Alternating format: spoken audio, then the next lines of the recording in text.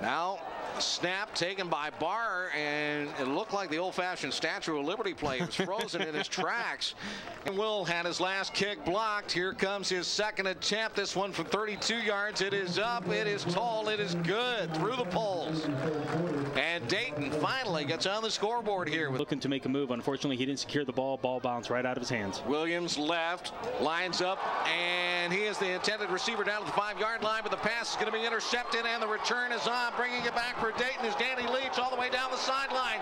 40, 30, 20, 10, 5, touchdown.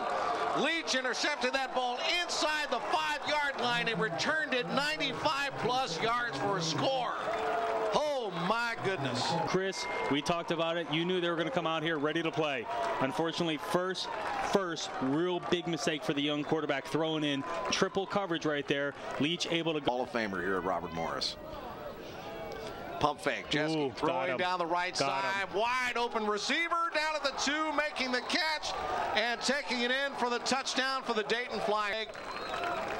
Really fooled the Colonial secondary and just wound up and let it fly.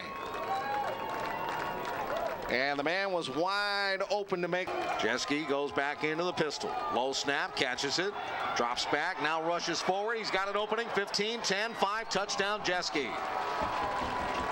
Officially a 13-yard hmm. run on the quarterback keeper again by the Colonial secondary was so good. Jeske had no one to throw to, and when he looked in front of him, there was nobody there. Exactly. Linebackers bailed out right there. Front four just gave him a giant pocket right up the middle to run through.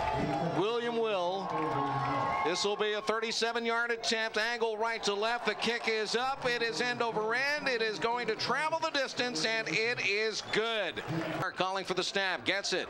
Now drives backwards. Cuts over to the right. Gets hit in the backfield. He's going to be sacked at the 40-yard line with 22 seconds left in the game. Oh. Two seconds left. The Colonials have a first down. Can they spike it quickly? Here is Barr. Snap.